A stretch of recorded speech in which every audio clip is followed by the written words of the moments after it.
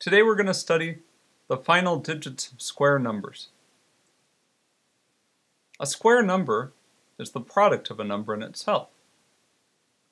The first square number is 1 times 1, which is 1.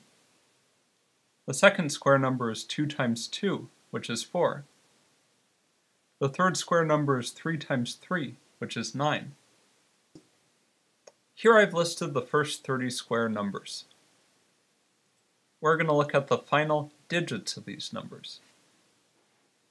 If you look at the first black row of this table, the first 10 squares, the final digits are 1, 4, 9, 6, 5, 6, 9, 4, 1, 0.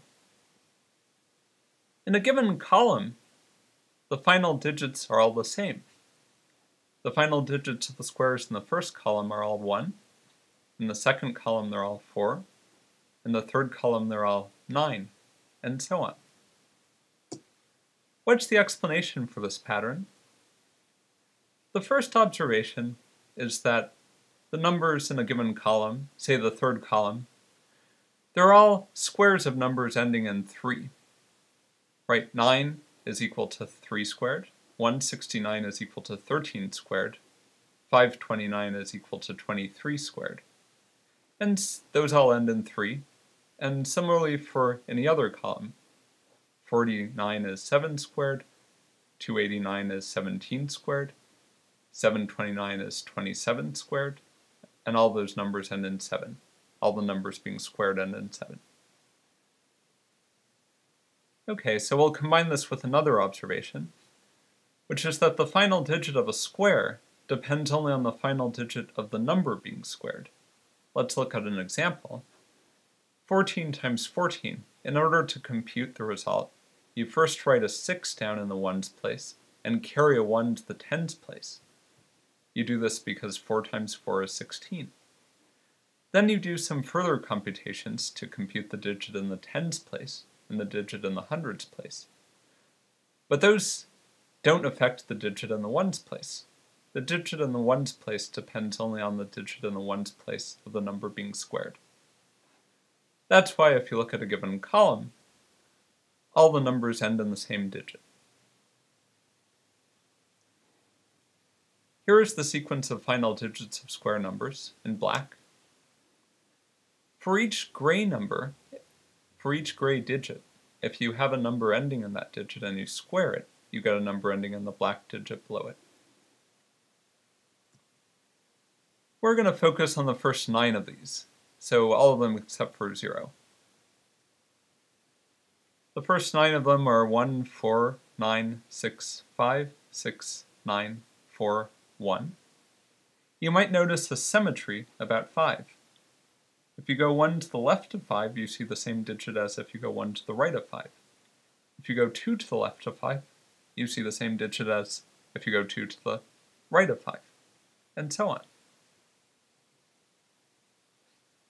We would like to explain this symmetry. In order to do so, we'll express it more precisely. The 1 on the left is the final digit of a square of a number ending in 1. The one on the right is the final digit of the square of a number ending in 9. Similarly, the 4 on the left is the square of a number with final digit ending in 2, and the 4 on the right is the square of a number with final digit ending in 8, and so on. We can express the symmetry using a table. Here I've written a table down. A number of the form 10k plus 1, a number that's 1 more than a multiple of 10, is a number ending in 1. Similarly, a number of the form 10k plus 2 is a number ending in 2, and so on. And the symmetry can be expressed by saying that if you look at a given column of the table and square both of the entries of the column, then their final digits will be the same. So I paired them off.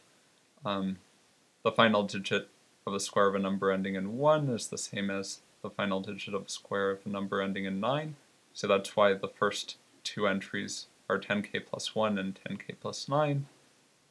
Similarly, the number squares of numbers with final digit 2 pair off with squares of numbers with final digit 8.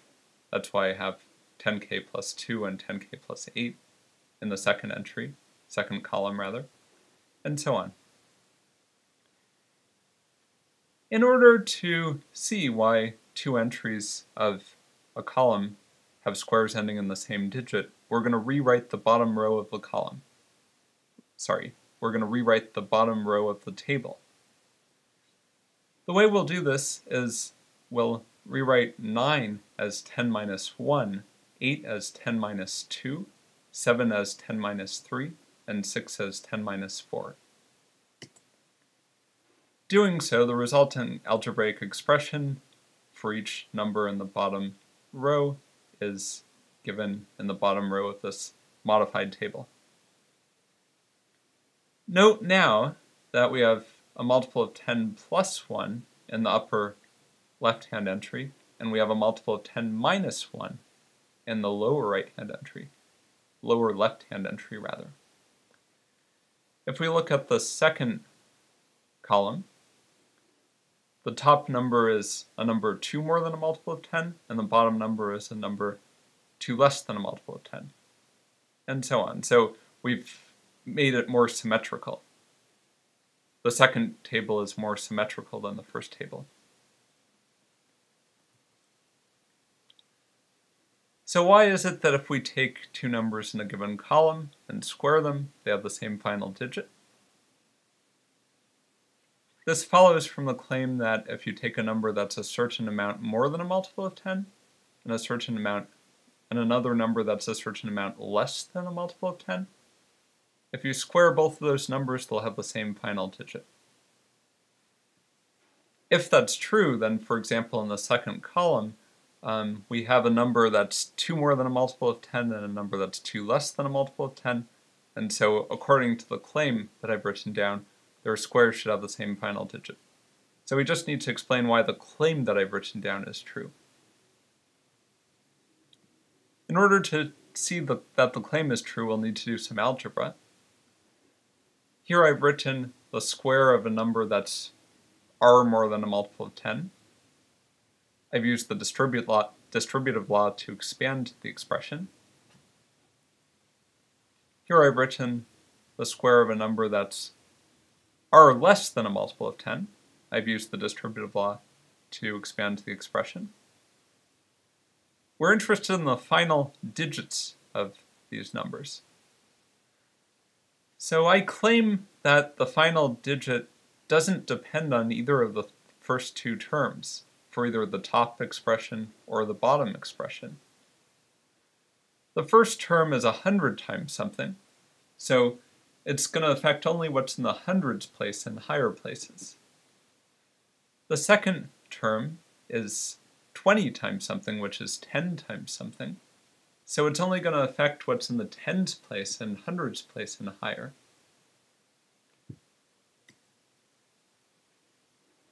All that the final digit depends on then is the third term.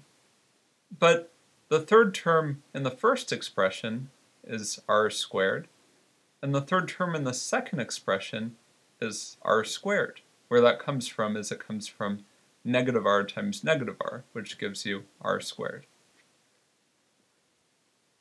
Because the final digit depends only on the third term, and the third term is the same for both expressions, both expressions have the same final digit.